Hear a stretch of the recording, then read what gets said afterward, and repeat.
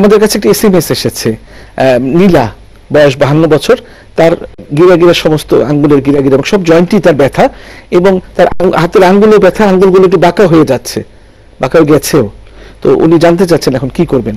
বয়স বাহান্ন বছর। বাহান্ন বছর ওনার যে ক্লিনিক্যাল ফিচার অনুযায়ী বোঝা যাচ্ছে she is a patient of rheumatoid arthritis তো রিমাটয়েড আর্থ্রাইটিসে কিন্তু আপনার হাতের আঙ্গুল বাঁকা হয়ে যাবে আস্তে আস্তে গিরাগুলো ফুলে যাবে এবং আমরা খুব একটা মানে বিশ বছর বা পঁচিশ বছরের মানুষকে দেখা মনে হবে যে একশোর উপরে বয়স।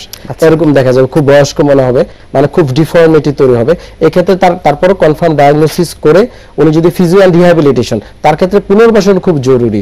শুধু কেবল ব্যথা ব্যথা কথা বলে ব্যথার ওষুধ খাওয়া বা ব্যথার চিকিৎসা নেওয়া এটা না করে সে যদি টোটাল কমপ্লিট সলিউশনে যায় তাহলে এই যে ব্যথাও চলে যাবে পাশাপাশি সে ডিফর্মিটি যেগুলো হয়েছে বাঁকা হয়ে গেছে এগুলো চলে যাবে। ডিফর্মিটিগুলি কি মানে আপনারা চেঞ্জ করতে পারবেন? অবশ্যই ডিফর্মিটি গুলো যদি আমরা যে কোনো পরিস্থিতিতে আসুক অ্যাকর্ডিং টু রোগীর অবস্থা অনুযায়ী রোগী কিন্তু এই ডিফর্মিটি গুলো চেঞ্জ হয়ে যায় এবং মুভমেন্ট চলে আসে তার মাসেলে পাওয়ার চলে আসে এবং দেখা যায় বাঁকা হয়ে গিয়েছিল এগুলো অনেকটা কারেকশন এটা তো মহিলাদেরই রোগ বেশি। হয়ে থাকে এবং একটু সময় লাগে। একটু হয়তো দীর্ঘদিন হয়তো রিহ্যাবিলিটেশন ট্রিটমেন্টটা চালিয়ে যেতে হয়। আচ্ছা। আমরা যে কথা এখন আসছি আমাদের যে কোমরের ব্যথা কোমরের ব্যথা নিয়ে তো অনেকেই ভুগছে। তো কোমরের ব্যথার কারণগুলো একটু শুনতে চাচ্ছি। অবশ্যই কোমর ব্যথা বেশিরভাগ কারণে হচ্ছে মেকানিক্যাল যেটা আমরা বলি কাজকর্ম চলাফেরা হয়ে থাকে।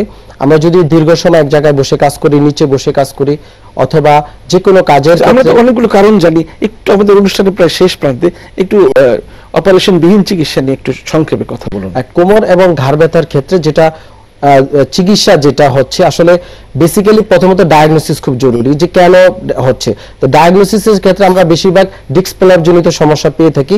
এই রোগীগুলোকে যদি প্রপার হয় বা খুব আর্লিতে আমাদের কাছে না আসে তাহলে হয়তো এক পর্যায়ে অপারেশনে যেতে হয়।